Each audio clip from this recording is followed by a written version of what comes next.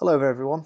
Uh, today's video uh, is just a, me just wanting to cover a, a, few things. So I've noticed recently I've uh, I've had a lot lot of new uh, subscribers over the uh, last uh, couple of months, which is good to see. And I'm getting a lot of kind messages from people um, saying that they're beginners and they're really enjoying my tutorials, and it's it's really encouraging. So obviously my I feel the, the demographic of subscribers that are, are watching my video uh, are newcomers to Photoshop, and uh, you know a few people have expressed that they're uh, they're a little bit lost with the program, and it's understandable because it's it is quite complicated when you when you first learn it and you're not quite sure uh, what's going on or what's happening. So what I've done is I've thought about it. and I've been thinking about doing this video for a while now. Uh, it's just three things that I think uh, that you should be that you should learn first in Photoshop. Now, it depends what you want to use Photoshop for. If you want to use it for photo editing, then these are probably not the three things that you want to be potentially uh, learning first. But because you subscribe to my channel and you watch my videos, uh, you probably want to do some sort of edit or manipulation uh, and just have a little play around on Photoshop, which I enjoy doing. So a little bit about myself. I've I've used Photoshop in CS2 and I never really knew what I was doing on it. This was long before there was any sort of YouTube or source materials, uh, and I kind of just self-taught myself, and my early stuff wasn't very good. And then um, I managed to get, I think, CS4, CS5. I had CS6 for a long time, uh, and now it's it's evolved and it's adapted, and it's really good. So, the first thing I I think that um, people should learn is the layers, uh, layers, sort of not a tool sort of sketch, but how layers work in Photoshop. Uh, it can be found on this tab here and if you don't see layers uh, or if you go to window and you scroll down uh, you should see layers and if you click that it'll then become visible. Now how layers work is, is when an object stacks on top of one another so imagine looking in a side view you should be able to see a layer. So I've, I've got this uh, matchday image that I made last year for um, a competition for Liverpool Football Club uh, where they would you make a match day image and you put it on social media, and if it was any good, they would use it. And they use this on the Instagram stories, which was really nice to see. Um, and as you can see, I've got a num number of layers.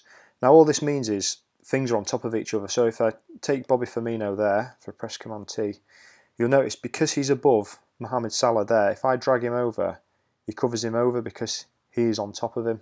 That's pretty much the only way I can really explain it. It's, it's it's just as simple as that. It's something on top of each other. Now layers can interact in different ways um, through blend modes. And again, I'm not going to go and give a tutorial now on layers. But I was going to YouTube and just search Photoshop layers. I just searched there and there's absolutely, there's hundreds, if not thousands of, uh, of Photoshop tutorials and there's some great resources out there and there's some great channels uh, to learn layers. So that would be my first recommendation to learn layers. The next one would be the pen tool. So if I hit P on my keyboard, it'll take me to the pen tool, which can be located here on your on your tools window. Uh, and if you hold it, you can see there's, there's quite a lot more uh, to learn from the pen tool. Uh, it, it is difficult to understand at first. It, it did take me a while uh, to learn and understand the pen tool. Now when you're cutting things out uh, from pictures, it does give a nice crisp, clean finish. And uh, if you go onto my videos and, and you scroll back and you'll I think there's a speed art I did of Steven Gerrard. You, you see, I, I, didn't use the the pen tool to cut him out. I used a, a mask, which I'm going to come on to in a minute.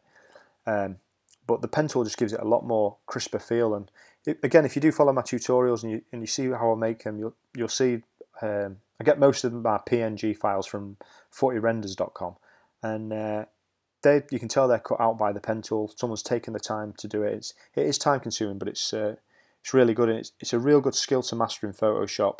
Even um, it's a transferable skill to use in Illustrator. So I didn't really fully understand the pen tool until I was doing some tutorials from YouTube on the pen tool and then I transferred that skill over to Photoshop and that's when I was confident enough to use and so again go to YouTube I'll, I'll, put a link in for two really good videos that um, I found uh, that I used for the pen tool uh, down below. And all, there's also this game, or I say a game, it's just an interactive uh, game to help you learn the pen tool. And you just click, and it's just simple, follow along until you get the hang of it and complete it. Then you go to the next one. So then now, you pull out, and yeah, you get you get the idea. I'm I'm, uh, I'm just playing just playing with it at the minute. Uh, but yeah, you see, so it's, it's, an interactive game uh, for you to, uh, to to play around uh, and learn the pen tool. It's it's really good. Once you get the hang of it, it's quite addictive, and then you can take it in. Uh, and it's again, like I just said, transferable skill to use on Illustrator. So again, okay, and the third and final skill that I, I think is really worth learning is making selections and masks. So, like um, like I just mentioned about making your selection with a pen tool, um, is is masking here. I don't know if I've got it on. No, I've not. I've not masked these ones, but um, masking is simply just being non non destructible, Um, been non-destructive. So rather than erasing the pixels around it, you can mask them. Uh, and again, you see on my other tutorials how, how I use masking.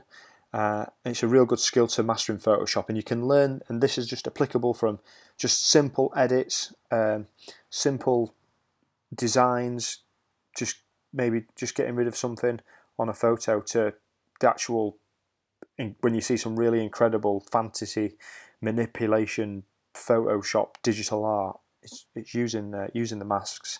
So again, masks can be found uh, down here. This layer mask, this icon here.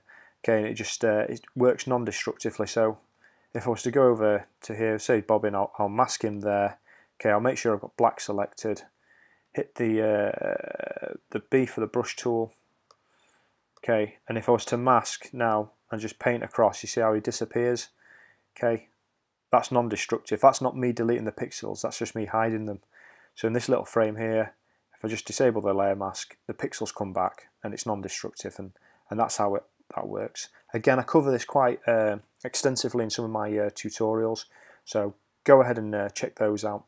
And uh, just as an extra bonus one, just while I'm thinking on as well, um, smart objects as well. So a smart object is something that you can go back and edit. I don't think I've got any down in here.